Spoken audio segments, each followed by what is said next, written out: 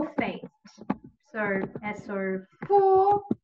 And its case P value is 1.08 times 10 to the power of negative 10. Do you agree with me on that? Yeah. Cool. Um, now, we've been told that, wait, we could literally call that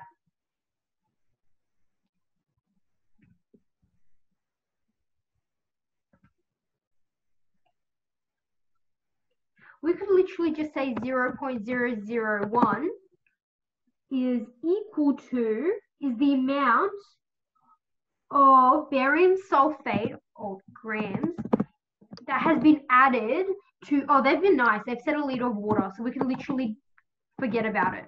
Do you agree with me on that? Yep. Perfect.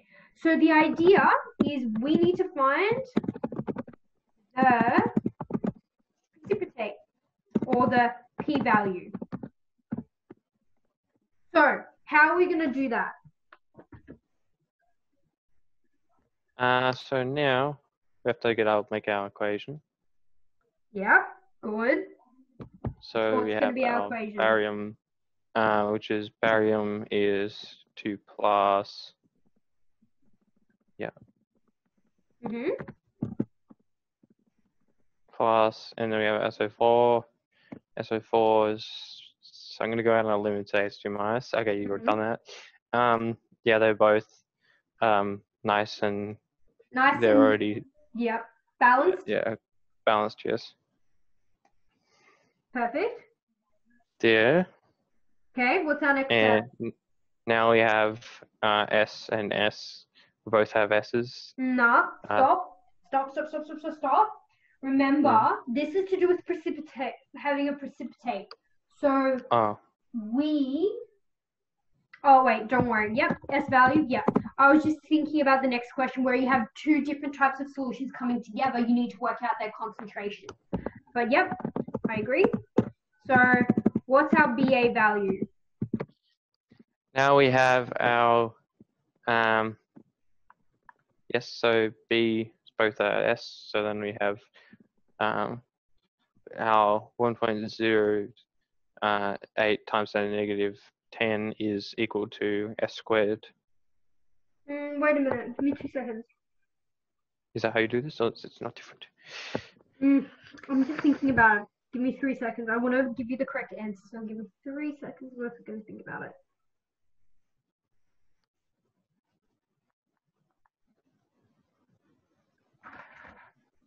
Okay, could give me a second. I'm going to attempt to work it out.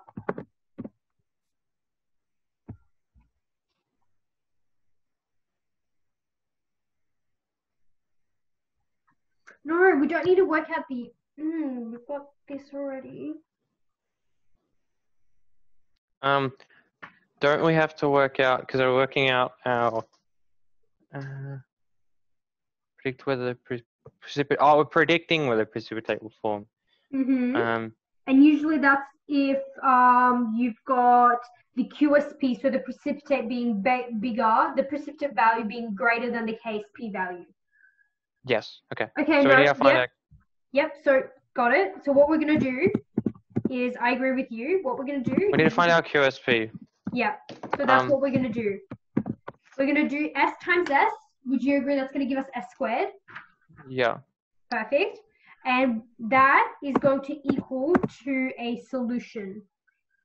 So 0.001 times squared is 1, 2, 3, 4, 5, 6, which equals to 1 times 10 to the negative 6. Now, is that greater than our KSP value? um, so did you, you squared it, didn't you? Yeah, Yeah, because remember we've got S squared. S times S is S squared. So our S value is this. Yeah. Okay. is equal to, okay, is it larger than, greater than, or equal to that? Yeah. It so- larger, yes.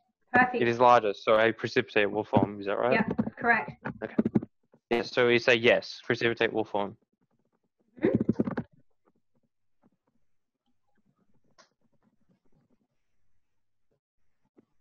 Done. So just to not confuse you, let's just quickly go through it again. We're going to find our S value. We found that this is S squared, right? Because it's S times S. And what we've done, we know that this is S here. I don't know if you're following what I'm writing. Yep. Yep.